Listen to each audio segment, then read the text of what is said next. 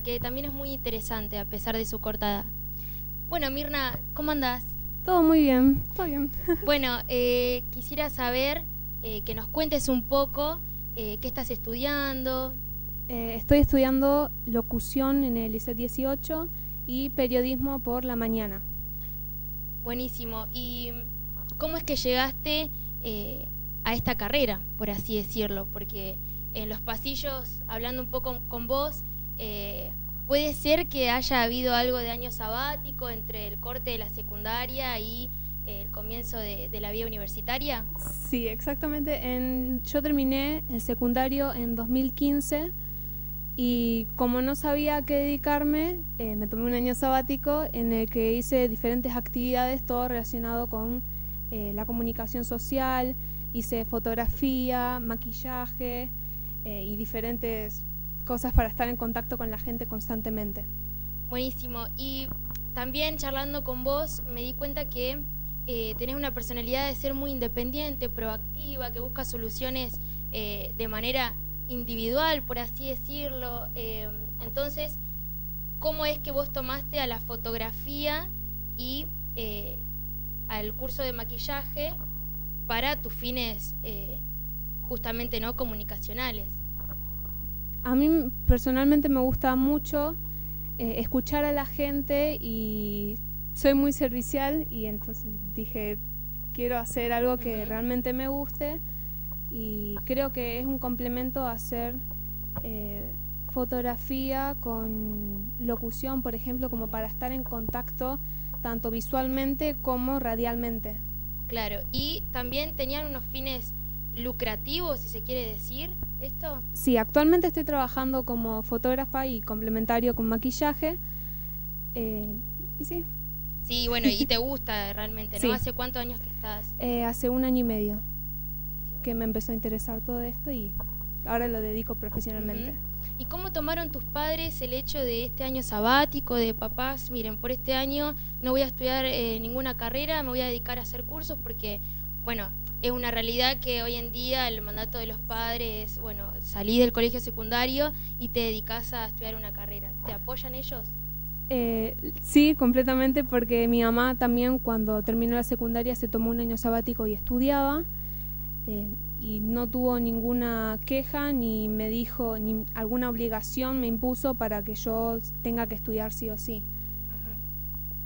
Buenísimo.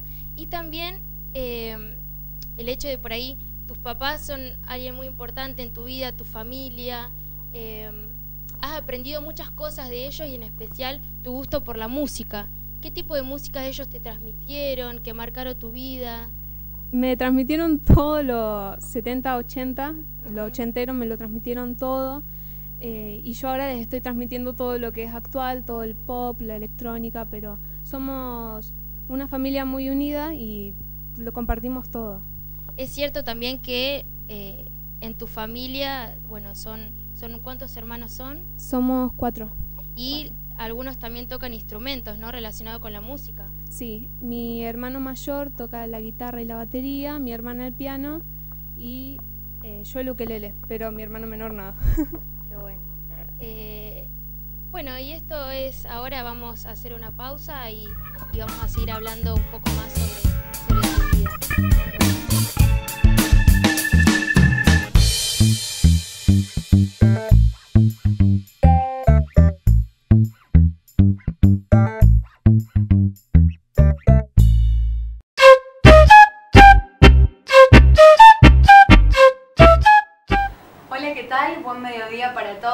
Bienvenidos a una nueva edición. Estas Mujeres del Futuro y en el día de hoy tenemos a una invitada muy especial, Analia Singolani. Ella es una mujer dedicada a los medios de comunicación. Actualmente también está cursando la carrera de locución y además está integrando una ONG aquí en la ciudad de Rosario. Analia, buen mediodía, gracias por visitarnos. Muchísimas gracias por invitarme, es un lujo estar en el programa. Y bueno, eh, quisiera mm, este, venir a contar un poco sobre que estudiar locución, estudiar el manejo de la palabra, bueno, es eh, algo muy bueno para todos y me siento muy contenta de estar aquí.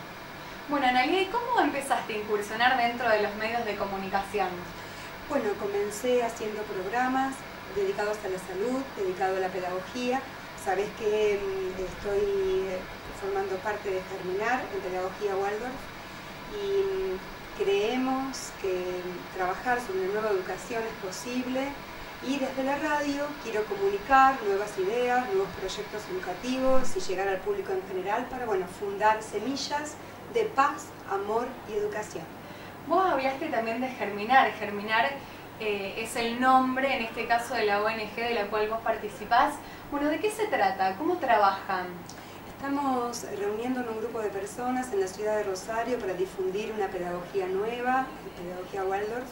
Está dedicada a mm, una nueva mirada holística, a atraer nuevos eh, proyectos este, desde Alemania, nuevos docentes, para haciendo eh, post-formación en, los maestros, para generar un contorno en el aula más artístico, más espiritual, más pedagógico, atendiendo al hombre en su conjunto. Analia, ¿y cómo surge también esta iniciativa de poder incorporarte en este caso a la ONG? Porque desde mi aporte como conductora de un programa de radio puedo traer invitados y ser una voz o un mero representante en un medio de la ciudad de todo lo que se está haciendo en pedagogía en esta línea. Bueno, hablas de la radio también, estaría bueno que nos cuentes un poco cuál es tu labor, tu trabajo dentro de la radio. Bueno, eh, formo parte de un grupo, el programa se llama Rosario Salud, también estamos orientados eh, para encontrar eh, nuevas eh, paradigmas para mejorar la salud, también con disciplinas para mejorar la calidad de vida, hago producción, conduzco, atiendo el teléfono, todo lo que se pueda colaborar. Analia, qué interesante porque realmente estamos eh, frente a una mujer dedicada completamente a lo social, dedicada además a la vida social. ¿Qué es lo que representa todo esto para vos? Y es un anhelo de mi alma llegar al público en general, poder difundir los ideales que uno cree que, son necesarios para mejorar tanto lo artístico, lo cultural, poder llegar a los niños, que para mí los niños son futuro. Y bueno, eh, me siento muy satisfecha de mi trabajo social. ¿Sos una mujer que suele marcar metas en este caso? ¿Propósitos? Los propósitos no son personales, mi meta en lo personal es trabajar en lo social, pero la meta es en conjunto. Siempre en la radio, desde el programa, bueno, somos varios los que trabajamos y las metas se logra desde el oyente, se logra desde los directores de la radio y en, en Germinar, como es una ONG sin fines de lucro, bueno, vamos cumpliendo mini metas de acuerdo a lo solicitado socialmente. Bueno, para aquellos que están del otro lado y que quieran sumarse en este caso a la organización no gubernamental, que quieran sumarse a Germinar, contales de qué manera lo pueden hacer. Pueden comunicarse si lo desean al teléfono 156 015 221 o vía mail a pedagogiawaldorf.yahoo.com.ar. Bueno, un último mensaje para la gente, para aquellos que están del otro lado y especialmente para que puedan seguir el propósito y para que puedan seguir el camino, en este caso, aquellos, aquellos que más les gustan los medios de comunicación también, ¿no? Por supuesto, por supuesto. Muchas gracias. Muchísimas gracias, Anelia. Gracias.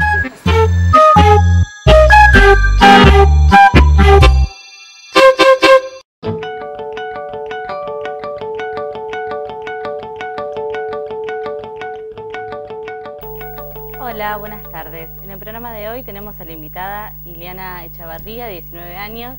Buenas tardes. Buenas tardes. El tema a tratar hoy son los cambios, los cambios que vamos atravesando en nuestra vida. Hace, hemos entendido que hace muy poco terminaste el colegio y ya estás estudiando una carrera. ¿Cómo, ¿Cómo resultó eso? Sí, yo terminé el colegio el año pasado y fue un cambio para mí muy grande porque mm, yo estaba acostumbrada, eh, digamos, a todo lo monótono de, todos los días, eh, levantarme temprano, ir al colegio, siempre lo mismo. Y más que nada mis padres me, hacían todo lo que sea trámites y, todas esas cosas, entonces fue un cambio muy grande para mí tener que eh, hacer todos los papeles para inscribirme, por ejemplo, eh, tener que ir y venir sola, hacer todas esas cosas, para mí fue un cambio muy grande y la verdad que estoy agradecida porque uno aprende y uno crece eh, de esa manera. Y para mí fue, es una linda experiencia porque recién comienza y me gusta mucho. Y esto de volver a adaptarte a otro grupo de personas con otra diversidad de edad, porque antes en el secundario siempre es un mismo edad, una misma generación, ahora las relaciones cambiaron. ¿Cómo te resulta esto de las amistades y los grupos que tenías antes con la diferencia de ahora? Y es algo eh, bastante complicado, convengamos que soy bastante chica y son eh, personas grandes, algunos casados, eh, la mayoría trabaja y yo como que sí es, es diferente, diferentes pensamientos, entonces uno tiene que adaptarse ¿no? a los cambios en la vida y, y sí es un poco difícil, pero con el tiempo eso puede ir mejorando. Y a nivel familiar, ¿vos crees que esto cambió el cotidiano de tu familia? ¿Tus, ¿Tenés hermanos? ¿Cómo ellos reaccionaron frente a esto? ¿Te apoyan? Y sí, yo tengo una familia bastante grande. Eh, tengo eh, tres hermanas, todas mujeres. Y sí, tenemos eh, acomodados los tiempos, digamos, tenemos, tengo una hermana que es muy, muy pequeña, tiene nueve años, entonces tenemos que acomodarnos a ella, a llevarla al colegio, entonces eh, para mi mamá fue eh, algo bueno que yo arrancara sola, eh, tenga mis horarios, puedo llevarla, traerla, hacer ese tipo de cosas, entonces creo que mi familia lo tomó bastante bien, es algo positivo y me apoyan absolutamente en esta decisión. Bueno, se te ve bien, estás contenta con la decisión de la carrera que estudiaste, ¿por qué? ¿Te viene resultando bien? Y sí, em, fueron pocos días, pocas semanas, pero sí porque es algo que tengo muy decidido hace bastante tiempo. Yo eh, desde pequeña que me gusta jugar eh, con, con, que estoy en la radio y hacer ese tipo de cosas, es para mí algo muy divertido.